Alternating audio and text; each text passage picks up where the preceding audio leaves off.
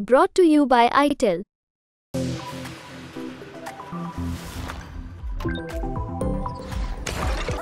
Okay, Saim, I'm going to do an exercise with you. Now that the 15 is announced, if Sunny Gavaskar was to make uh, his 11 for the first game, now we've seen the form that they've displayed, the kind of combination that uh, you know the Indian team could go with. How is your 11 looking like? What we'll do is we'll try and break it up. Let's start with the openers. Who would be your two openers?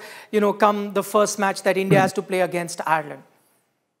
I would I would have uh, uh, left hand right hand combination that open in the test matches. Uh, Rohit Sharma, Yashasvi Jaiswal, I would have them uh, to open the batting. Uh, Kohli at three, I would have Surya Kumar Yadav at four.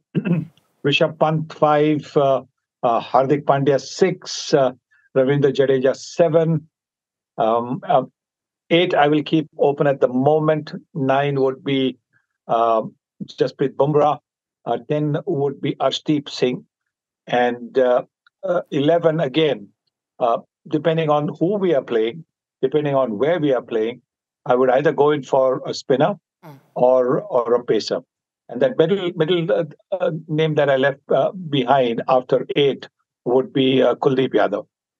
Okay, so that's the you know 11 that uh, Mr. Gavaskar would go with. Match से जुड़े आपके हर सवाल का हम देंगे जवाब जानने के लिए हर update live analysis special interviews download कीजिए Sports Tak App.